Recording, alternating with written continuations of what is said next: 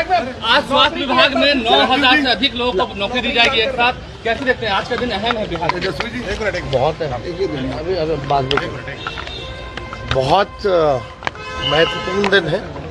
और आज दो मेडिकल कॉलेज का शिलान्यास भी है और साथ ही साथ कई योजनाओं का उद्घाटन भी है और साथ ही साथ लगभग दस हज़ार के आसपास जो है लोगों को नियुक्ति पत्र जो है वो मिलने का काम होगा तो वाकई में अच्छी बात है और जिस काम के लिए हम लोग प्रतिबद्ध हैं उस काम को हम लोग जो है पूरा कर रहे हैं